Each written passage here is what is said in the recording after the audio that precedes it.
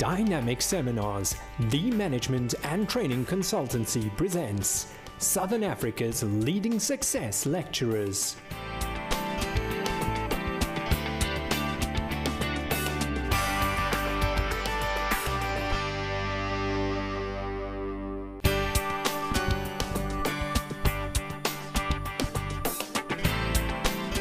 Good morning, everyone.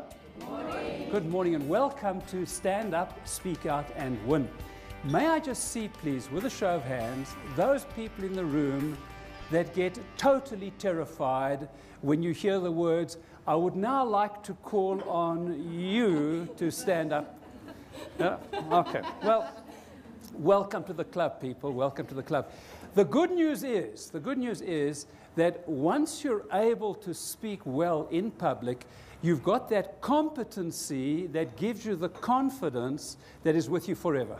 Right? Once you know that you're competent, you then are confident, and we can just have that absolute peace of mind. Next time somebody says, Would you please come up and talk? You just take a nice deep breath, nice and relaxed, and enjoy yourselves. Only law of today is that you've got to have fun. Right? Everything is negotiable. This is one law that is not negotiable. You've got to enjoy yourselves today. Are you all happy with that? Yes. Fabulous. All right. Let's talk about standing up, speaking out, and winning. I would like to start by asking Is there anybody in the room that has ever heard of a man by the name of Daniel McHenry?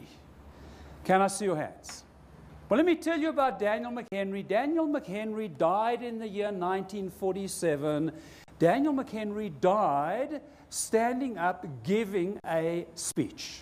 Now, to the best of our knowledge, Daniel McHenry was the last one that actually dropped dead while standing up speaking. Right? That was in the year 1947, 60 odd years ago, which means that speaking in public is probably quite a safe business. Right?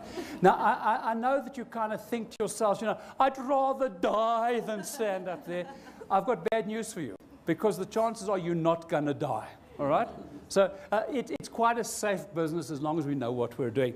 Let's talk about the formula, the formula for a successful presentation. It's called the Tell Them formula. Now, I must ask you to concentrate enormously now because this is incredibly difficult stuff. So please concentrate. Okay. Step number one tell people what it is that you plan to tell them. Right? Step number two tell them. I did warn you this is complicated stuff. Right? And then step number three tell them what you have told them. Okay? Very, very simple. Tell them formula. Start off, tell people what you're going to tell them. Then move into telling them, and then finish up by doing what? Tell them what you have already told them. Okay? That is the formula. It's a nice backbone on which to build the presentation. So now, with that as background, can anybody tell me what should I be doing right now? Tell us what you plan to tell us. I think, yeah, if we're going to follow the formula, let's do it. All right. We're going to be going through a whole batch of stuff together. Number one, we're going to be uh, talking about the objective of your presentation. Why are you standing up in front of people? Right? What, what are you trying to do while you're standing up in front of people? And that's a very important part because we need to know where we're going. So, step number one objectives. Number two, we now have to sit down and actually prepare this presentation. Uh, yeah, uh, where do I start? You know, what, what I have to do now? Yeah, uh, I'm, I'm, going to be standing in front of people at the end of the month. Very, very special occasion. Uh, what am I meant to do in terms of preparation? Number three, we have to have a look at how do I address the group. Uh, ladies and gentlemen, dames en heren, honor gentlemen. Yeah, how do you address the group? What works and what doesn't work? We need to talk about that. We then need to talk about rehearsal. Well, rehearsal actually is not really that important because, you know, it'll be all right on the day. Now, if you believe that, people, you also believe in the tooth fairy, right? Uh, it's only going to be as good as the rehearsal you put in. I love the story. A young reporter stopped Gary Player. He had just won a major tournament, and a reporter stopped him and said, You know, Gary, you've just got to be one of the absolute luckiest golfers that I've ever yet seen. And Gary Player said, You know what? It's an amazing thing. But the more I practice, the luckier I get. and you know, we hope to get lucky on the day, and the answer is you're only going to get lucky if you do the work, right? So we have to talk about rehearsal. We're then going to be talking about group dynamics. What makes up a group? Right? Uh, how, how, do I work with this group? Are there things in common with groups, and how can I use that to my advantage? then, we have to talk about that big problem called butterflies, all right?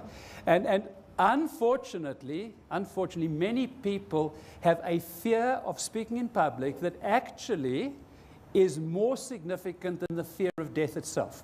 Right?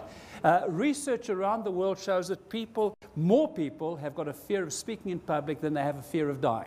All right? So we need to talk about what can we do to overcome those fears. Then we have to talk about being introduced our ne next speaker is, right? Uh, should we be introduced? If we should, how should we be introduced? And all that kind of stuff we need to talk about. Then we have to talk about some opening tips. What can I do to make sure that it's going to be all right? That as I stand up, everything is going to be working. How do I make sure all of those pieces are in place? We then have to talk about using words. Those are the tools that we have. We need to make sure that we're using those words correctly. There's a whole batch of do's and don'ts, once again, that we need to worry about. We then have to talk about verbal mannerisms. What's all that about? How do we make our speech pattern more interesting? What can I do to make my speech a little bit more exciting to the people that are listening to it? Then we have to talk about idiosyncrasies or idiosyncratic behavior. What is that? We're talking about any behavior that a speaker has that is going to drive their audience mad.